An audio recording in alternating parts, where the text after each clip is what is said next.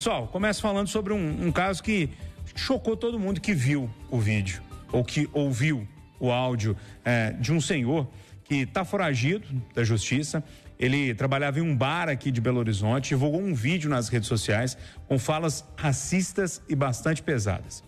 Alessandro Pereira de Oliveira é o nome do rapaz, tem 36 anos, já foi condenado por violência doméstica, não voltou para a cadeia após uma saidinha temporária e cometeu mais esse crime. Acho que eu posso chamar de crime com tranquilidade, né? Oswaldo Diniz estava apurando há pouco, você ouviu no resumo do jornal da Itatiaia, mais de 80 registros na polícia contra esse rapaz. Para todo mundo ficar na mesma página, não sei se todo mundo ouviu, ouviu. Vamos ouvir um trechinho é, desse vídeo, Jonas, por favor. É, rapaz, trabalhar em bar não é fácil não, viu? Tem que aturar cada uma. Maldita princesa Isabel que assinou aquela lei áurea pra acabar com a escravidão.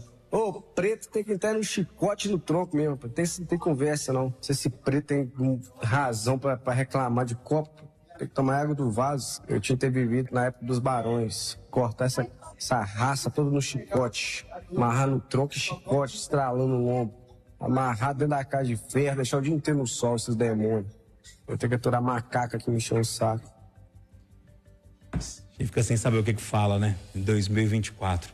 Edilene, quero começar com você, acho que por motivos óbvios. Bom dia, Edilene, que fala com a gente direto da Inglaterra, está acompanhando o julgamento do caso Mariana e tem que já acordar ouvindo essa, Edilene. Bom dia para você. Bom dia, Júnior. Bom dia aos debatedores, bom dia aos nossos ouvintes. É um absurdo, né, Júnior? E além de ser um racista, o que também é crime, que dá pena de reclusão de dois anos e meio, que é pouquíssimo considerando uma ofensa, um distrato, um crime desse tipo, ele tem vários outros crimes. Quando ele aparecer, daqui a pouco, muito óbvio que sempre acontece, algum advogado vai alegar que ele tem algum problema da ordem de saúde mental para tentar com que ele escape dessa, porque é sempre assim, né? A pessoa fala absurdos, coisas inacreditáveis e alguém aparece falando que a pessoa não pode ser punida porque a pessoa tem algum problema de saúde mental, que normalmente é só uma desculpa apesar de um comportamento como esse ser completamente fora da normalidade. E é muito triste pensar, Júnior, que tem gente que fala, né? Como ele falou absurdamente, gravou um vídeo falando e se acha completamente superior às outras pessoas. Agora, eu que sou uma pessoa negra, por exemplo, tem muita gente que passa pela gente na rua e pensa essas coisas que ele pensou. A pessoa te atende diferente, te olha diferente, te trata diferente pela cor da sua pele.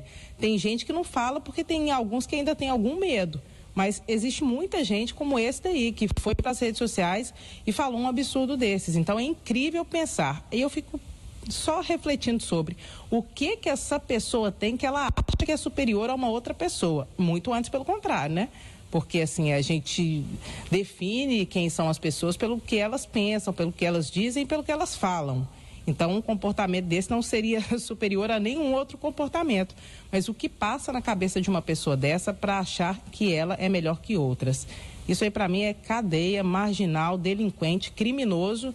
Qualquer pena para ele é pouco. E dois anos e meio de reclusão por esse crime, já que ele tem outros, é pouco também. Agora, é muito corajoso para falar nas redes sociais, né? Na hora de pagar pelo que falou, tá aí, tá sumido. Vamos ver se ele aparece. Eu sei que o assunto é pesado e todo mundo tem que falar dele, mas eu não posso deixar de falar para você que está no rádio. Quem estava no YouTube já viu. Cadeira maravilhosa que a Dilene Lopes está sentada, você viu ou não? Para, para, é, tá parecendo juíza do, do STF, viu, Dilene? Coisa chique aí na Inglaterra, eu gostei de ver. para esse racista aí que nós estamos falando dele, provavelmente eu não mereço sentar numa cadeira dessa, eu não deveria nem sentar, né? Devia estar embaixo de chicote, né, Júnior? Pois é, esse é um grande problema. Ô, William Travassos, deixa eu trazer uhum. esse assunto para você também. Oswaldo Diniz, na apuração ali da, da competente equipe de polícia da Itatiaia, já trouxe essa informação de mais de 80 registros na polícia. Esse áudio que eu passei para vocês, que eu acho que é absolutamente chocante. É, eu não sei, eu não sei o que falar sobre isso. É, eu fico um pouco um pouco não, eu fico muito incomodado quando eu ouço isso, é, me questiono até o fato da gente estar tá, é, reproduzindo isso, né? Porque eu é, é, é, impossível mensurar a dor que você está sentindo, né? É, ao ouvir esse tipo de fala. Mas nós vivamos, vivemos sim numa sociedade onde existe esse racismo estrutural, né? Nós temos uma sociedade de 56% da população brasileira se identifica como eh, preta ou parda. E nós temos hoje, nos três poderes da República, homens brancos que predominam nos cargos de gestão e comando. Por que isso? Se mais da metade da população brasileira se identifica de uma forma e hoje nós elegemos as pessoas diferentes. É, eu, uma vez, eu assisti um show da Bia é, e ela, essa menina, ela fala sobre a cota, né? Então, não, ela tem uma frase, ela não justifique o seu racismo, é, não justifique, não tente desconstruir a minha fala em função do seu racismo. É, eu e ela propõe o teste do pescoço, para que você olhe para o lado e veja as pessoas que estão no seu entorno, que estão te servindo, né? o tipo de cargo que elas estão ocupando, para você ter consciência da sociedade que você está vivendo. Então é constrangedor ouvir isso. É uma pessoa altamente desequilibrada, né? E eu não sei qual vai ser a defesa, mas provavelmente talvez uma insanidade mental. É possível que apresente isso porque um cara que tem 86 registros, não quer dizer, e o Oswaldo pontuou muito bem que isso vai virar um inquérito ou não, mas ele tem 86 reclamações contra ele, de denúncias contra esse homem. Então é, é, muito triste ver que ainda temos sim esse tipo de mentalidade e às vezes o cara sente isso e não fala. Mas é importante a gente tratar o homem como um igual, independente da cor da pele dele.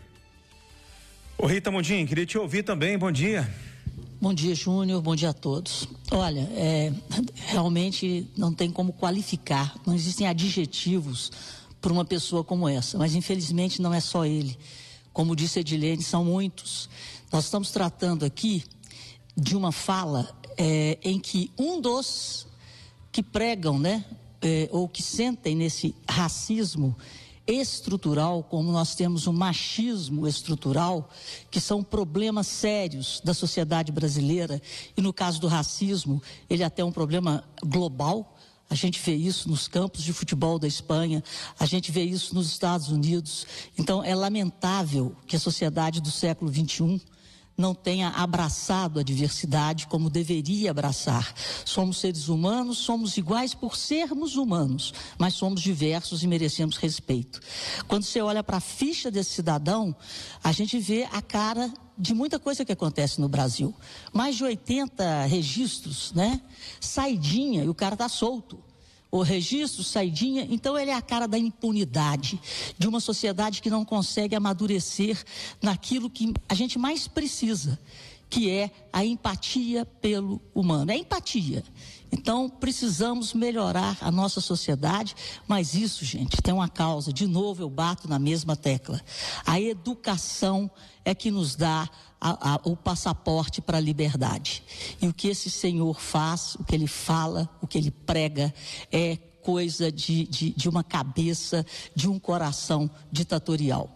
Então, precisamos de educação para nos é, igualarmos pela liberdade.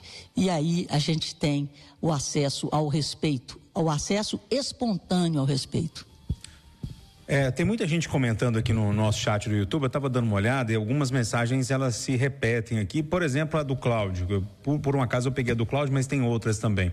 Ele diz assim: ó, quanto mais ressonância esse fato obtiver na imprensa, pior será. Se ignorar apenas punir pelo crime, evitará novos casos. Eu acho o contrário, viu, Cláudio? Discordo de você. Eu acho que a gente precisa falar mais disso para colocar isso como exemplo. Ou não, Marcelo? Bom dia. Bom dia, Júnior. Bom dia, amigos do Conversa. Bom dia a todos os ouvintes. Eu concordo com você. Eu acho que o racismo ficou ainda é velado de certa forma na sociedade brasileira e ficou velado por muito tempo em alguns lugares. Isso não é falado, isso é escondido e isso se perpetua. Eu acho que quanto mais a gente trazer luz a uma nojeira, eu acho que a palavra para definir um, um, esse vídeo é nojo, né? É, uma no, é, um vídeo nojento desse cara. E ele, por mais que eu entendo, né? O William até apontou que ele pode causar repulsa em muita gente, causar dor em muita gente, mas a gente tem que expor sim, tem que discutir esse tema, tem que falar, porque a gente não vai conseguir mudar a realidade se a gente deixar isso de, continuar de forma velada. Então, um cara que tem, a, a como se diz, a, a, maluquice de fazer um vídeo desse e postar na rede social, ele tem que ser exposto para entender a gravidade da fala dele. E a gente tem que torcer para que a punição aconteça de forma dura e rápida. E aí a gente entra naquele outro debate, né? Da, é, eu sempre fui muito contra as saidinhas temporárias, da gente começar a tratar o, o, os criminosos como eles devem ser tratados, né? Com punição, com cadeia, com multas, e não com benefícios e mais benefícios. Porque um camarada desse fala isso, vai preso, pega dois anos, ele está na rua em poucos meses. Então o Brasil precisa decidir o que, que ele quer. É passar pano ou é tratar com, é, com firmeza e realmente punir? E a gente, como imprensa, a gente tem que mostrar o que a sociedade tem feito, né? O que a sociedade reproduz muitas vezes de forma criminosa. Eu entendo a parte da punição, sabe, Marcelo, mas eu me questiono na raiz do problema. Então, aonde nós estamos errando, né? Esse, ele é de 1988, acho que de agosto, o Oswaldo está puxando, puxou a data dele, então ele tem a mesma idade da nossa Constituição. Né? Então, será que nesses 36 anos nós não conseguimos evoluir como sociedade e, e tratar o ser humano como igual dentro do Brasil? E por que, que ainda temos esse tipo de comportamento? Aonde nós estamos errando? Na construção da nossa sociedade e como nós encontramos dificuldade para destruir ou desmantelar esse racismo estrutural, entende? Ô, William, eu acho que o primeiro erro é não tratar ele de forma aberta. É fingir que esse racismo não acontece. É fingir que o racismo, que o machismo são coisas de outros, de outros países e tratar como se no Brasil fosse um país sem esse tipo de problema. Eu acho que passou da hora do Brasil tratar de forma bem clara e com punições bem severas. Educação, gente, educação. É, eu não estou dizendo para não falar do tema. Eu só estou dizendo que isso é uma coisa que traz uma repulsa tão grande e o pior, que eu não duvido que tem gente que acaba apoiando esse cara, ou que fala isso no seu dia a dia, ou não fala, mas pensa dessa forma, né?